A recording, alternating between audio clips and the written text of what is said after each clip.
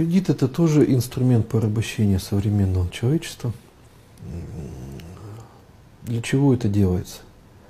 Вот особенно сейчас э, кредиты, кредитам приучает молодежь.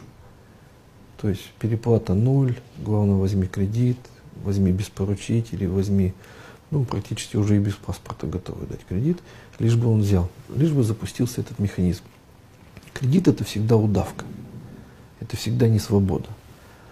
А, в чем заключается ловушка? Если человек хочет купить какой-то товар, ну, к примеру, молодой человек, да, он откладывает, откладывает, и это является его как бы очередной промежуточной целью.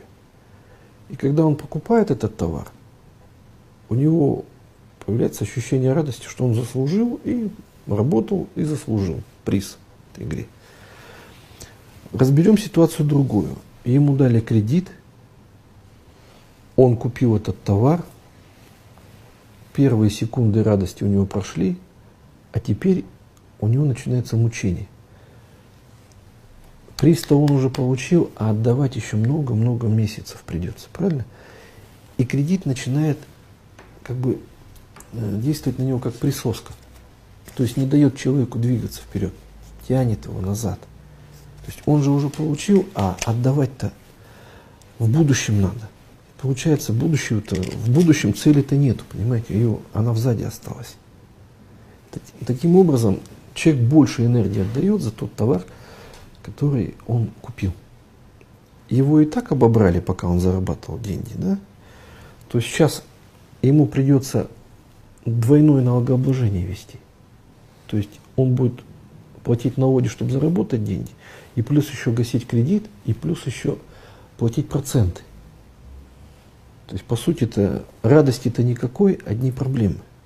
Этот товар, получается, значительно дороже, чем он ему бы обошелся в самом начале. То есть э, особо, особо страшным кредитом является ипотека на сегодняшний момент. Потому что ее иначе как 15 лет с конфискацией имущества назвать невозможно. Потому что ну, 15 лет, представляете, человек не должен болеть. Если человек пропускает два платежа, всего лишь два платежа, он лишается квартиры и тех денег, которые он туда внес.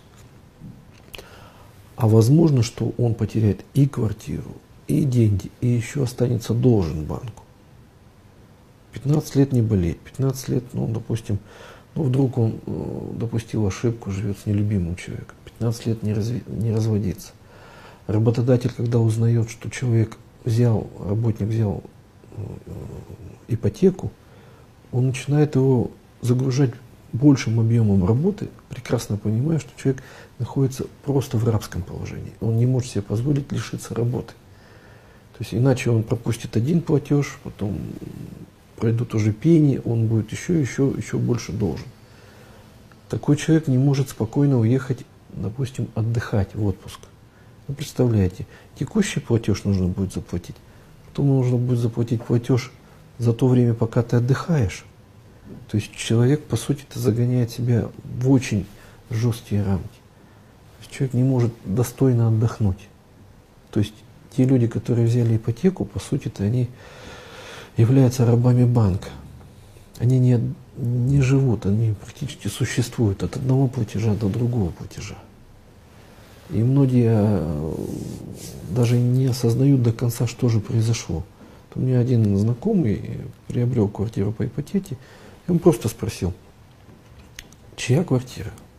Он говорит, моя. Я говорю, хорошо. Свидетельство на право собственности где находится? В банке. Повторяю вопрос, чья квартира? Моя. То есть до человека даже не доходит простая мысль, что в принципе-то это имущество банка изначально. И он лишь временно находится там. Он платит квартплату за банк, платит кредит, проценты. И первое время-то, вот, особенно первые годы выплаты по э, ипотеке, там гасятся только проценты. Основное тело кредита останутся, остановится, остается нетронутым. Это тоже обман своеобразный. То есть банковская система, она очень изощренная на сегодняшний момент. Она наработала так, такой инструментарий, что простому человеку-то в принципе не разобраться.